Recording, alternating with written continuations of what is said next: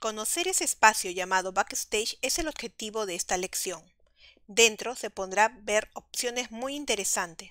Para acceder a ese espacio tenemos que hacer clic en la ficha Archivo. La pestaña Archivo, a diferencia del resto de pestañas, no contiene herramientas para la modificación y tratamiento del contenido del documento, sino más bien opciones referentes a la aplicación y al archivo resultante. Al situarnos en esta pestaña, se cubre el documento con un panel de opciones. Es por ello que Microsoft ha llamado a esta vista la vista Backstage. Observaremos que sus opciones no se encuentran en una ficha como la que hemos visto con agrupaciones. Están situadas en forma de un menú vertical. Esta pestaña equivaldría al botón de Office en la versión de Word 2007 y en versiones anteriores era el menú Archivo.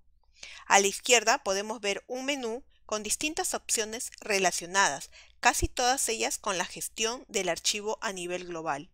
Y la principal característica de la ficha archivo es que para cada comando de la parte izquierda aparecen unas opciones en la parte central. Y a su vez, para cada una de estas opciones aparecen otras opciones más en la parte de la derecha de la pantalla. Por ejemplo, vemos como el comando abrir genera opciones como recientes y otras ubicaciones y al seleccionar recientes podremos visualizar que aparece una lista con varios documentos recientes. Vamos a ver cada uno de los botones del panel de la izquierda. La opción Nuevo ofrece la posibilidad de abrir un documento en blanco, una plantilla o dar un paseo por Word como una breve presentación. El comando Abrir permite consultar los documentos recientemente abiertos y abrir ficheros del OneDrive o del equipo local. Se pueden agregar también otros sitios o repositorios de archivos de la intranet o de Internet.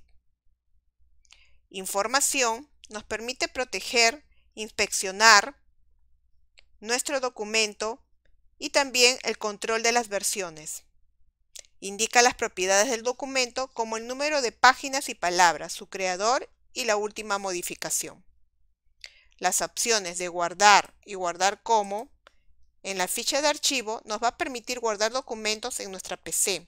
La opción guardar nos permite examinar y guardar documentos nuevos y podemos utilizar la combinación de teclas control G. La opción imprimir esta opción nos va a permitir imprimir cualquier documento en el cual deseemos seleccionar la impresora que vamos a enviar. También podemos seleccionar si se quiere imprimir todo el documento, hojas intercaladas o solo unas hojas. La opción compartir nos va a permitir compartir con otras personas los trabajos guardados en la nube, enviarlo también por correo electrónico, enviar como un archivo PDF o publicarlo en blog. También tenemos la opción de exportar. Esta opción nos va a permitir cambiar el tipo de archivo, como por ejemplo a PDF o a otros tipos. La opción transformar. Esta opción transforma el documento en una página web de Microsoft Suite interactiva y es fácil de compartir. Regresaré a la ficha archivo para ver la siguiente opción, que es cerrar tiene la utilidad de cerrar solo el documento que actualmente tenemos abierto. Como pueden visualizar, acabo de cerrar el documento, pero sigo estando en Word. Voy a regresar a la ficha archivo para ver las siguientes opciones que son comentarios, que nos va a permitir enviar alguna sugerencia o comentarios.